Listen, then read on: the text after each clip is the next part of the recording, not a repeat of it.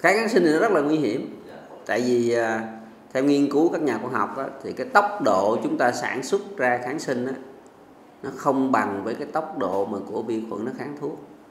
Nó kháng thuốc nhanh hơn mà mình sản xuất không kịp có nghĩa là tới một lúc nào đó mình sẽ không có kháng sinh để mà diệt vi trùng. Cho nên mức độ kháng kháng sinh nó ghê gớm như vậy.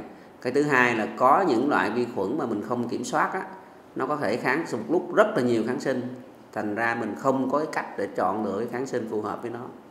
Cho nên kháng kháng sinh là rất là nguy hiểm.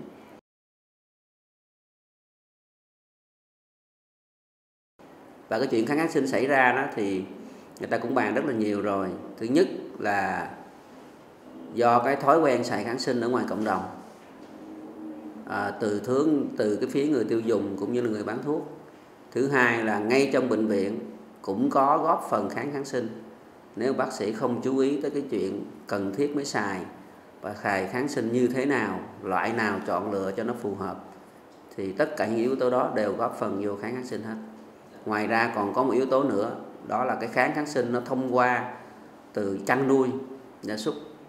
Thì có một số nhà chăn nuôi gia súc, họ sử dụng kháng sinh và cái vi khuẩn ở trong gia súc đó, nó có thể truyền cái tính kháng kháng sinh cho cái vi khuẩn ở người. Thì cuối cùng là vi khuẩn ở người nó sẽ kháng kháng sinh.